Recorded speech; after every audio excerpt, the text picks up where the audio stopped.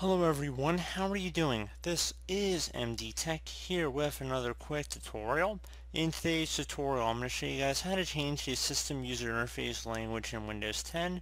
So if you want to change the localized version of your Windows operating system language, this tutorial will be for you. So we're going to go ahead and jump right into it and we're going to start by opening up the start button, just off on the start button one time. Select the settings gear icon on the left side where if you hover over it, it says settings. So go ahead and left click on that. Now that you're here, you want to go select the time and language tile. Now select language on the left side. And at this point you can change your Windows display language by clicking inside of this drop down menu.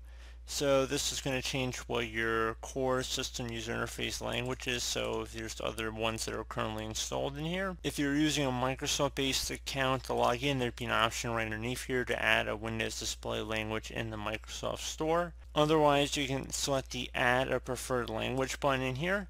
And at this point you go ahead and just type in whatever language you want to appear.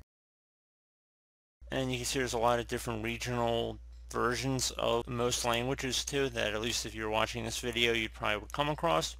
And you just would go ahead and select whichever one's applicable for you and then select next. Select the install button and there you go. It should say language pack available once you've selected it so go ahead and select that. And then you want to move it up in the list here to the first preferred default app language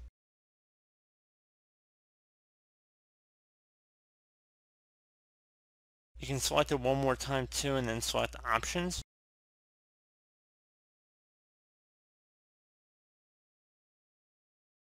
Please note I appear to be having internet connectivity issues at this point, but it should automatically begin downloading the language packs. Just make sure you're hooked up to the internet because then it should begin automatically downloading your language pack from here. So I do hope this brief tutorial was able to help you guys out and as always thank you for watching and I do look forward to catching you all in the next tutorial. Goodbye.